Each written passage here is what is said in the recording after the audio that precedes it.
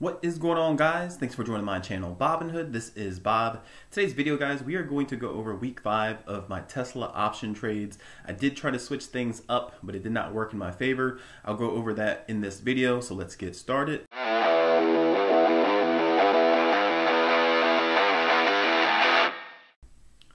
So let's check Tesla out. As you can see, it was up $4.14. It did fall off a little bit at $1.74, but Tesla started off in the green and it did fall down pretty good, down $4.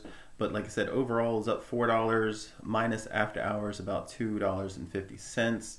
Um, so if we check the week out, guys, you can see Tesla's down $26.54 but it fell all the way down to 625 which is a $56 drop. That's 8.24% which is pretty crazy.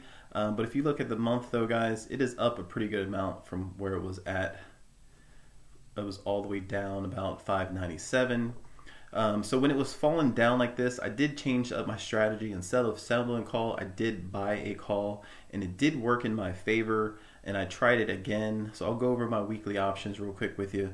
So I did buy a call on the 6th, and it did work in my favor because stock did go up a bit.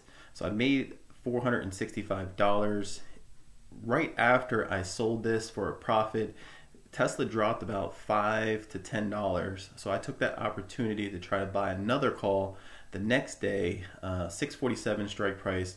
It cost me $1,665. And of course, you guys know what happened uh, later that day or the next day. It dropped uh, down to about 526, 525.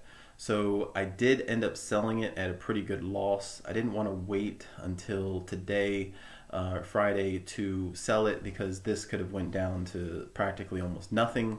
So I took a huge loss on this. I lost $1,290 off this play.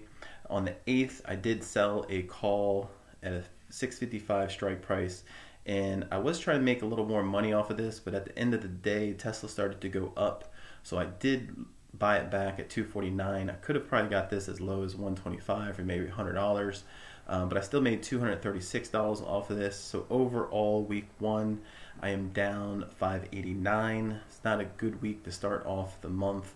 Uh, but I did do a sell call just before the market closed.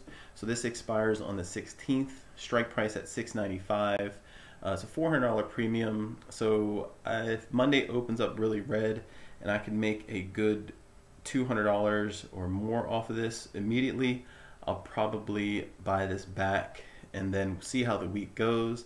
And whatever I buy it back for, I'll try to make it up. Hopefully, I'll be able to make up this 589 by next week. And of course, you guys should know that the week after that, Tesla is going to come out with their earnings.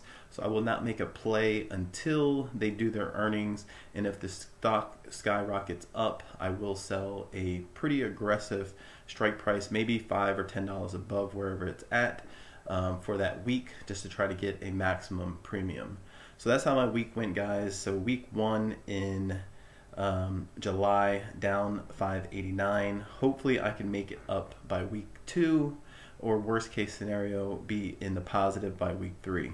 So thank you guys for watching. Please definitely let me know how your week went if you have Tesla or any other stocks. Thank you guys for watching. You guys have a wonderful day. Don't forget to like and subscribe.